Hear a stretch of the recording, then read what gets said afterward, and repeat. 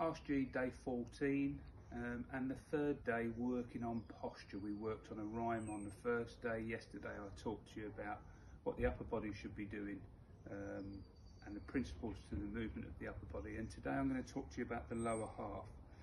So basically we've worked on our chin being up clear of the chest and we've bent over from the waist and we spoke about that spinal angle yesterday. So with regard to the lower half, the principle to the bottom half in the golf swing is that it resists the twist, the rotation, the coil of the upper body. It's really important that it does resist because that's where you can store power and how you create more power. Very often I tend to see a lot of movement in players from side to side.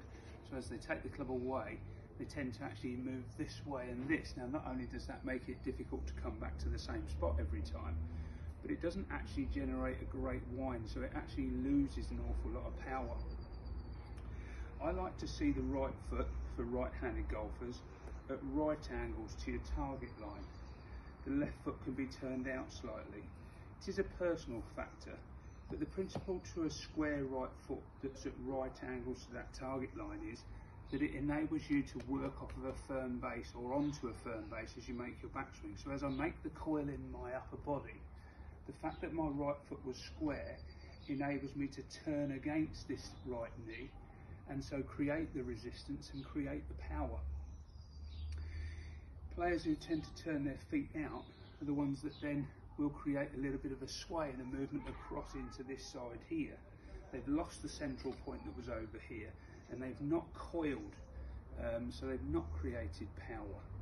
So a square right foot or a, or a, right foot that's at right angles is a good idea because it gives you the feeling that you can turn against the inside of that right knee and I'm creating the power and the sensation that I can unwind and unleash powerfully to strike the ball.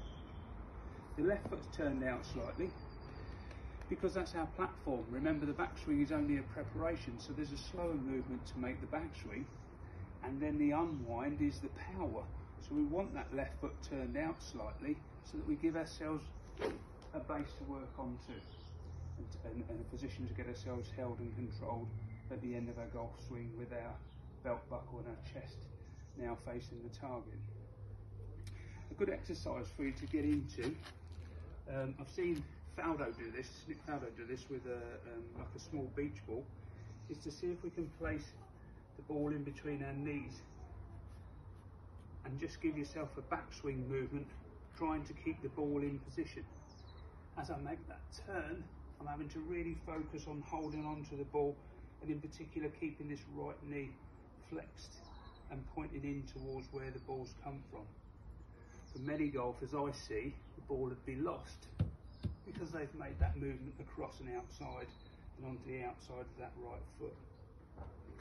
As you make that swing, as you make that turn, see if you can feel for the weight on the inside of that right knee. Good hip turn, good shoulder rotation. There's my power stored. Now I can come through and strike the ball powerfully and hold and control that finish. There's lesson 14. See you tomorrow for number 15. Thank you.